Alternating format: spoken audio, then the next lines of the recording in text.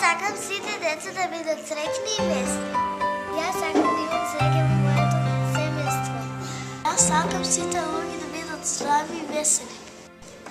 Никоде во светот да нема гладни и несреќни. Да мраз на сите деца сака да ги исполни желбите. Новата година да биде поубаво од старта. Сите деца да раснат во среќно детство. Новата година кај ги исполни сите желби на луѓето. Во секој дом да има среќа и радост.